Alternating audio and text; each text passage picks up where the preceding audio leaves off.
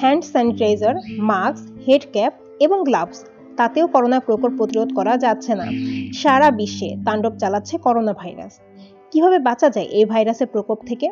বিশ্ব স্বাস্থ্য সংস্থা জানিয়েছে, মাস্ক ব্যবহারের সঙ্গে হ্যান্ড স্যানিটাইজার ব্যবহার করলে সংক্রমণ প্রতিরোধ করা সম্ভব।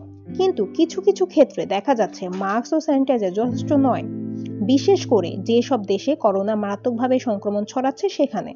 স্পেন সেই সব দেশের মধ্যে অন্যতম। তবে এখন সেখানে করোনা প্রকোপ কিছুটা হলেও কমেছে। তবুও সেখানকার মাঠে তারকারা ঝুঁকি নিচ্ছেন না। সাবধানতা অবলম্বন করেই খেলতে নামছেন তারা।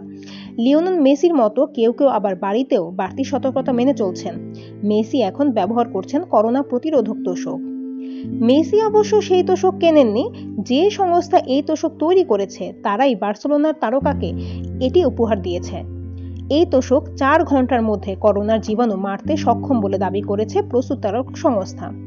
টেকমুন নামে সেই তোষকের উপর এখন মেসি ও তার পরিবারের সদস্যরা ঘুমোচ্ছেন। মেসি সলনিগেস ও সার্জিও আগুয়েগ্রো তিনজনকে এই তোষক উপহার দিয়েছে প্রস্তুতকারক সংস্থা।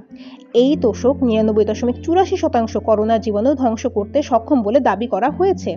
মেসির এই তোষক নিয়েই এখন সোশ্যাল মিডিয়ায় জোর আলোচনা চলছে। স্প্যানিশ সংবাদ মাধ্যম মুন্দো দেপোর্তিভো জানিয়েছে, এই তোষকের সুতা অতি সূক্ষ্ম কণা। সেই কণা ভাইরাস মারতে সক্ষম।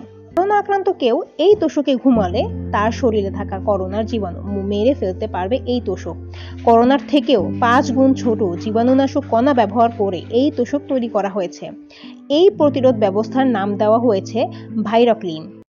আরও নিত্য নতুন খবর পেতে চ্যানেলটি সাবস্ক্রাইব করে আমাদের পাশে থাকুন এবং আপনার মূল্যবান মন্তব্য কমেন্টসে লিখে জানান।